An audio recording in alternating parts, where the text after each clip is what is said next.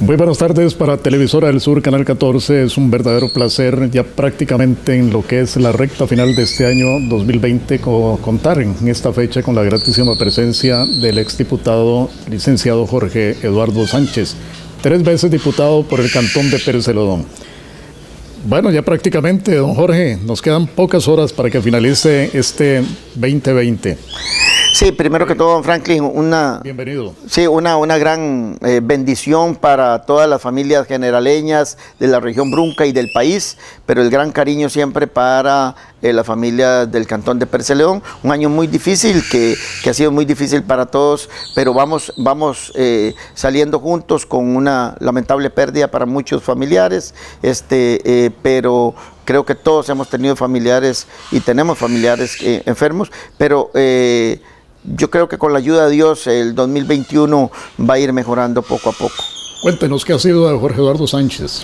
Bueno, yo tengo mi casa aquí en Pérez León siempre, vengo este, mucho eh, y, me dedico a, ser abogado, que es mi profesión.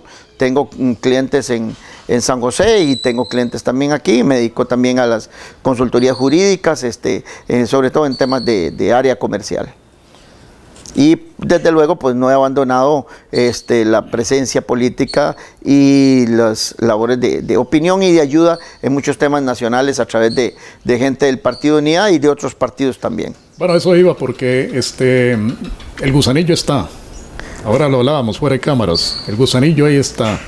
Este, cuéntenos, eh, ¿a qué aspira Jorge Eduardo? Bueno, primero que todo, todos tenemos que aspirar a que tener una mejor Costa Rica, tener una mejor región y tener un mejor, eh, mejor país. Pero lo, lo eh, que voy a, participar este eh, año es en el proceso de las distritales y la cantonal y la provincial para aspirar al primer lugar por San José para ser este diputado. Ahora jocosamente hablábamos de que a pesar de que soy tres veces diputado a los 58 años, este, no tengo pensión todo el mundo cree que los diputados se pensionan, se pensionan los que han cotizado y los que tienen la edad. Eh, no, no, no tengo, ni he cotizado los años, ni, ni tengo la edad para estar pensionado y aunque fuera diputado de nuevo, no eh, lo no, lo, no, podría estar eh, pensionado. Este, aspiro al primer lugar por San José, por el Partido Unidad Social Cristiana, en el que he estado eh, eh, toda mi vida. Hoy más que nunca me parece que es el, el, partido con más posibilidades de crecimiento a nivel nacional. Estamos por definir en la próxima asamblea del partido, este, que será a finales de enero, definir cómo va a ser el proceso, pero muy posiblemente el 30 de mayo o un par de semanas más serán las distritales y la convención juntas y eh, ahí empieza, arranca el proceso porque este es un partido en el que sus diputados se escogen en la provincia, no se escogen a dedo como otros partidos políticos. Usted tuvo un paso con el partido de Fabricio Alvarado. ¿Perdón? Usted, usted tuvo un paso con el partido No, no, no, no, con su partido no. Yo, yo voté por él en la segunda este, eh, eh, ronda, pero nunca estuve cercano a, él ni a su partido. Este, había que escoger solo entre dos y este, creo que eh, en aquel momento yo tenía la razón. Ha sido este gobierno del Partido Acción Ciudadana más desastroso que el desastroso eh, gobierno pasado. Me parece que es un gobierno sin liderazgo y sin conocimiento de la cosa pública. La impericia y la inexperiencia salta a la vez. Un, un gobierno que lleva tres ministros de Hacienda y que lleva cuatro ministros de la presidencia, lo que significa es que es un presidente que no pudo armar equipo y eh, una inestabilidad en el gabinete que repercute en la falta de visión y en la falta de propuestas, sobre todo para lo que el país necesita. Ya antes de la pandemia estábamos prácticamente en eh, un 12% de desempleo, cuando en el mundo la estadística es que ya después de 10 es pandemia y en este momento tenemos un desempleo impresionante en el país eh, que que sabemos que mucho es la pandemia, pero ya nosotros lo traíamos por falta de esas medidas de reactivación. Se ha dicho y lo ha manifestado el señor presidente de la República que ha tenido que actuar porque los gobiernos anteriores, 20 años atrás, no hacían nada al respecto y que le tocó a él. Yo creo que eso es una excusa, Franklin. Uno cuando va de gobernante sabe a lo que va y él venía del anterior gobierno. Él tenía que haber dicho además que había un hueco fiscal porque es parte de las primeras cosas que uno estudia cuando se propone para, para candidato presidencial. Yo no podemos excusar al presidente, venía dentro del gobierno pasado, sabía lo que estaba pasando y me parece a mí que más bien topó con una, con una oposición generosa una oposición pragmática y una, una, oposición que más bien le ha ayudado, porque logró, logró gracias a la oposición, él solo tiene 10 diputados en la Asamblea Legislativa de 57 y gracias a esa oposición logró reforma al reglamento que ellos en oposición no se lo dieron nunca a los gobiernos ni de la unidad ni de liberación antes, estando en oposición. Uno tiene que ser responsable en oposición. Y sin embargo, cuando a ellos les tocó gobierno, la oposición les dio una reforma al reglamento que agiliza las propuestas que usted haga ante el Parlamento. Y segundo, le dio un plan fiscal y le dio eh, le dio el beneficio de la duda. Pero es que eran tres patas del banco. Una era el plan fiscal del 2018, se lo dio en diciembre del 2018. Otra era los procesos de reactivación económica y otro era la contracción y reducción del gasto. El gobierno no cumplió, se dedicó a lo que generó con el plan fiscal a gastar y a gastar en la planilla. Y el último recorte que se ha hecho en el último presupuesto, si, si, si no mal, no me acuerdo, es de más de 160 mil millones, es gracias a la oposición, no gracias al gobierno. Entonces, me parece que el gobierno no se puede excusar. Si usted no está capacitado para un puesto, usted no se puede proponer. Entonces, si el presidente no tenía claro a qué iba, no tenía por qué haberse postulado. Pero fue bien votado. ¿Fue qué? Fue bien votado. No, no es cierto. No es cierto. Fue una reacción él, él en la primera ronda, él saca lo mínimo para entrar a la segunda ronda. O sea, le gana Liberación, le gana la unidad y queda detrás de lo, lo que hay una reacción.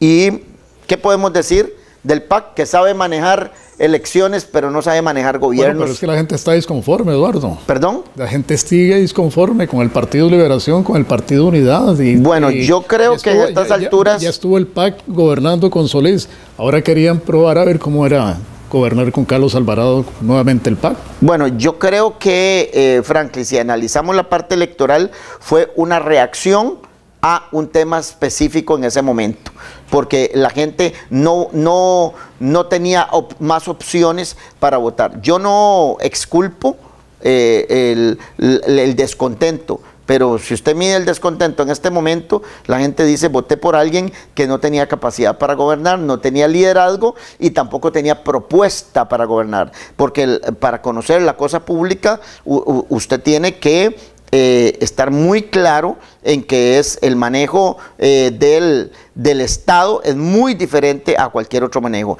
Él se suponía que venía de un gobierno y que tenía que haber sabido cómo era eh, el gobierno y vea, el voto no fue parejo, don Franklin. En la primera ronda no votaron por el PAC. El, el, PAC quedó casi de cuarto partido político porque solo le ganó a la unidad por un, por un, por un diputado. De hecho, hoy el PAC tiene una este, em, tiene 10 eh, diputados y la unidad tiene 9. Después, los cristianos sacaron 14 y Liberación sacó 17.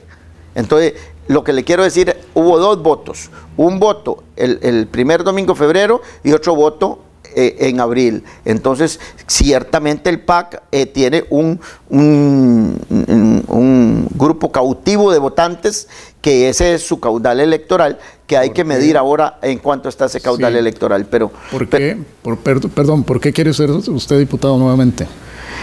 A mí me parece que hay ejemplos que uno tiene que seguir en la vida y uno de esos ejemplos es eh, ver a Rodolfo Méndez con 84 años sirviéndole al país como le ha servido a este cantón desde 1978 y podemos hacer una lista inmensurable de obras hechas por Rodolfo Méndez Mata gestionadas en este, en este cantón pero las podemos ver en el país también. Lo que le quiero decir es que con 58 años, don Franklin, creo que todavía tenemos nuestra generación que seguirle sirviendo eh, al país. Como no voy por un interés personal de pensionarme o, por un interés personal del salario, porque yo vivo de mi profesión y de mis cosas, no vivo, no soy ni siquiera empleado público, eh, como para decir que estoy en un puesto y voy a pasar a otro. Este, eh, creo que eh, podemos aportarle al país. En el pasado fui el que hizo, la, gestionó el primer texto de ley de banca para el desarrollo, fui el que estuvo en la reforma de la ley de zonas francas, fui el que estuvo en la, eh, la ley de cooperativas de autogestión, la ley de, los bomberos este, para desconcentrarlo del Instituto Nacional de Seguros, o sea, eh, cosas concretas, de propuestas concretas. Y eh, creo que hoy más que nunca el, cantón necesita un liderazgo. Sí, el, liderazgo es el único instrumento eh, con el que nosotros podemos hacer, primero que todo, una definición de a qué queremos apostarle en temas de reactivación. Este, ¿Qué queremos ser? Si ponerle valor agregado a nuestros temas del agro, si queremos ponerle nosotros este, eh, valor agregado al tema de servicios. Luego el cantón está eh, sin conectividad, ¿sí? Y, luego el cantón está sin conectividad con a nivel nacional, internacional, no tenemos conectividad terrestre eh, eh, competitiva, ni, conectividad con, con, a través de, aire, no tenemos aeropuerto y creo firmemente de que podemos aportar mucho ejerciendo un liderazgo que saque este, al cantón del letargo del desarrollo en el que está. ¿Hay líderes en el partido este, Unidad Social y Cristiana ya a nivel presidencial? Bueno, por ahora el único que ha manifestado abiertamente dentro del Partido Unidad es el, diputado eh, Pedro Muñoz y este em, eh, vamos a ver qué pasa a partir de la otra semana que ya es, ya es enero, porque la, convención se estará llevando a cabo, como lo dije, puede ser el, el 30 de mayo o una o dos semanas después, en junio, y el partido escogerá este eh, candidato el mismo día, que son los procesos distritales a lo largo y ancho de todo el país ya está este, visitando comunidades en Pérez Celedón? Bueno, en realidad en Pérez Celedón y en toda la provincia, eh, porque tenemos dirigentes en Turrubares, en Puruscal, en Mora, en eh, Escazú, en Santana, este, en eh, la zona de Los Santos. Este, lo que le quiero decir es que para la diputación la candidatura la escogen todos los cantones de San José, y son 20 cantones, entonces es visitar Pérez Celedón, Guaycochea tenemos un, gran liderazgo de, del presidente municipal que está con nuestro grupo de gente unidad y, y este, en Curriabat, en, los 20 cantones ya tenemos dirigencia, este, obviamente que ya lo que es este, fuerte de proselitismo y de venir a, plantear nuestra propuesta será en los próximos meses del 2021, eh, cuando esté definido eh, exactamente la fecha que van a ser el proceso distritales. Después de las distritales vienen las cantonales y después la provincial, que es la que escoge a los diputados. Entonces, ese es el proceso. Somos el único partido del país que sus diputados no los escoge el candidato presidencial. En el Partido de Acción Ciudadana, los siete cabeceras de, provincia las escoge a dedo el candidato presidencial. En Liberación acaban de hacer una reforma, pero en el de, en el de nosotros es las bases las que escogen esa, esa, eh, eh, cada una, esa lista de diputados por cada una de las provincias.